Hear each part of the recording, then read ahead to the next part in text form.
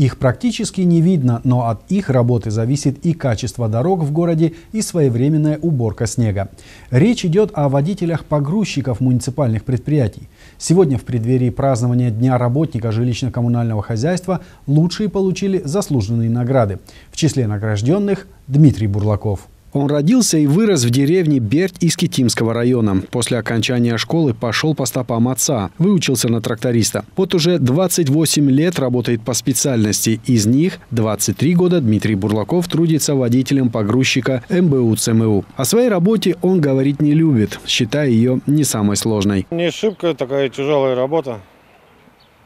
Просто, как вам сказать, ну, все хорошо, нормально. В зимний период тяжеловато маленько, что рано вставать с трех часов ночи, просыпаешься и едешь на работу, в 4 уезжаешь уже.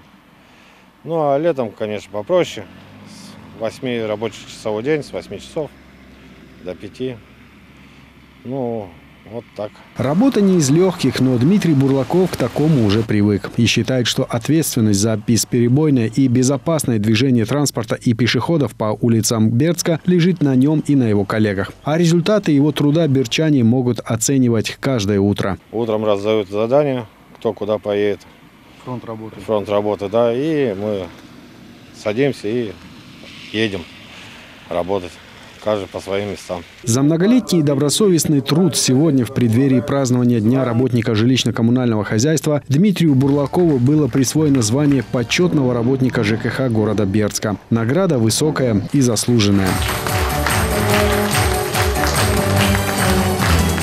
Сколько таких незаметных, казалось бы, людей стараются сделать каждый новый день для берчан еще более чистым, светлым и радостным, жертвуя при этом собственным сном. Их главная задача – служение родному городу и людям, живущим в нем. И с этой задачей они стараются справиться.